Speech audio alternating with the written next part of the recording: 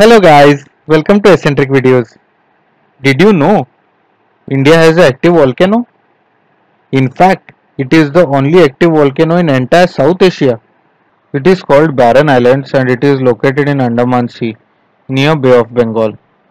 It is a part of Indian Union Territory of Andaman and Nicobar Islands and it is about 138 kilometers away from the territory's capital Port Blair.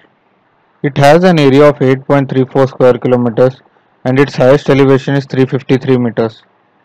As far as we know, Barren Islands had its first recorded volcanic eruption in 1787.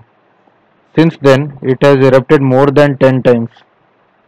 And the latest eruption was spotted on 23rd January 2017 by a team of National Institute of Oceanography.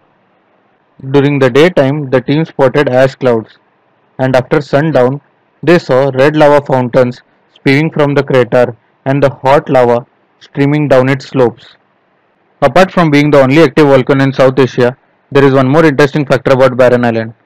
The waters surrounding Barren Island are reputed to be among the world's top scuba diving destinations.